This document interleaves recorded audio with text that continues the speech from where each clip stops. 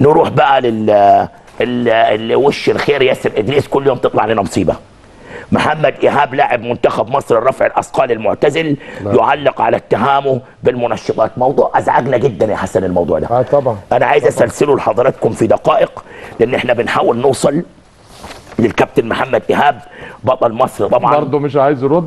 لا آه، هو الراجل اللي بنحاول ما اتفقناش لسه بنحاول معاه. يا رب يكون سهران أو المفروض على فكرة يطلع ويرد لأن محمد إن شاء الله بإذن الله نقدر نوصل له. لحد ما تجمع أنا بس هسلسل لكم عشان. تبقوا معايا في ده.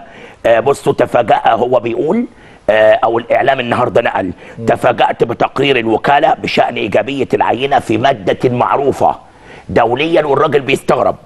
بيقول فعالية المادة تستمر لمدة ستة أشهر ونسميها متفجرات فكيف لم يتم اكتشافها؟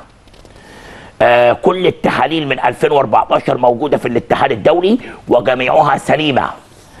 آه، أنتظر وصول خطاب رسمي للعينة وفتح العينة به لم أذهب للأولمبياد فجأة وكنت تحت المنظار قبلها بعامين. يعني الراجل بيداوم على التحليل. أنا لاعب أولمبي وجميع خطواتي كانت محسوبة وخضعت للتحاليل دائما. سأستعين بمحامي دولي وأتخذ جميع الإجراءات لإظهار الحقيقة. سأطلب فتح العينة الثانية وسأذهب للمحكمة الدولية وسأذهب آه، آه، من أجل الإنصاف. هي مصر كلها معاك يا كابتن محمد. أنت بطل اولمبي وشرفتنا ورفعت اسم مصر. وأنا لا أصدق بعد موضوع رمضان صبحي. أصبحنا نشكك في كل بتوع المنشطات. يعني ما حد يزعل من كلامي. فمعك والدولة معاك إلى أن يثبت أنك بريء أو شيء آخر نتكلم من واقع المستندات أنا عبد الناصر أنت في نظري بريء. وأنا من خلال برنامجي والملايين اللي بيتفرجوا عليا بدعو الناس أن تدعمك وتساندك. لأن إحنا ليس جهة فحص ولا بتوع منشطات ولكن إحنا معاك لآخر نقطة. آه البطل الأولمبي محمد إيهاب مساء الفل يا كابتن محمد. مساء العصر ازيك يا كوتش؟ يعني لك كل الدعم والمساندة وقلبي معاك. والله ربنا كريم يعني يمكن الموضوع ده عشان يبين أحقيتي في الميدالية والمادة اللي هم قالوها ده يعني تعسف كبير جدا ومادة مع- معروفة لل... لل... لكل الناس يعني مادة بتتباع على الرصيفه زي ما بيقولوا يعني.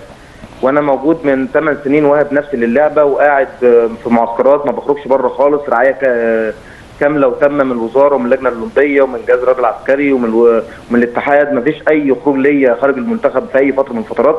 ثمان سنين موجود على برنامج ال ADAMS برنامج ال whereabouts ما فيش أي مشكلة. اللي بي- بيكلموا في في عينة آه، في القريه الأولمبية قبل اللعب بأربع أيام. طب آه، أستوقفك في بعض الأمور الغامضة عن الإعلام.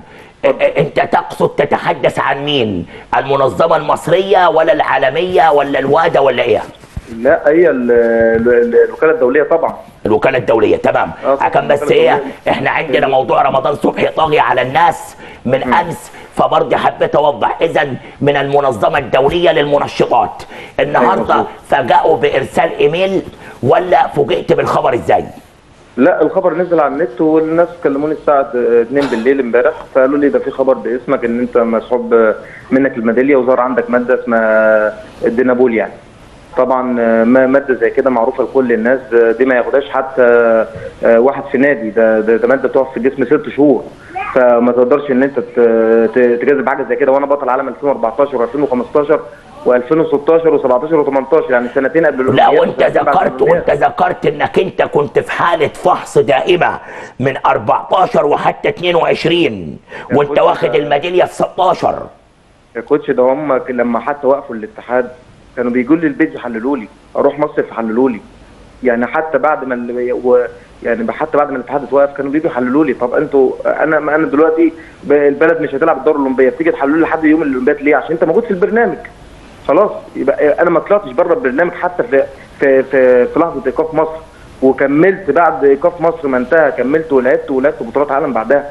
أنا بطلت 2022 بعد أول ما الميزان اتلغى طيب هي المادة يا كابتن إيهاب اسمها دينابول وهي مادة معروفة باسم دارج متفجرات وتظل في الجسم لمدة ستة أشهر صحيح الكلام ده؟ مظبوط طبعا مظبوط. الكلام ده معروف للناس كلها. فما فيش واحد تحت المنظار محلي ودولي ماتشات وتستات وتدريبات وخارج المنافسات موجود تحت السيستم ده يظهر عنده مادة زي كده وتظهر عنده في عينة آه، قبل البطولة بأربع أيام ما ظهرش في البطولة. الم- المادة مالهاش علاقة بتحديث الأجهزة. المادة دي من 50 سنة معروف إنها بتوقف.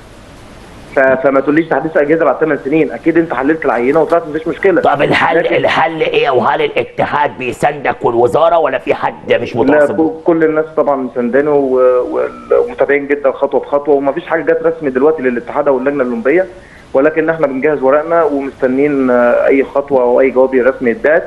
وإن شاء الله يكون في اتحاد يظهر الحق. وأنا يعني أنا بوعد الناس كلها إن العينة دي مش بتاعتي والمادة اللي ظهرت دي لا يمكن تكون بتاعتي. بس هو إزاي و- بعد وال- سنين؟ والتحاليل ما هو ده الاستعجاب.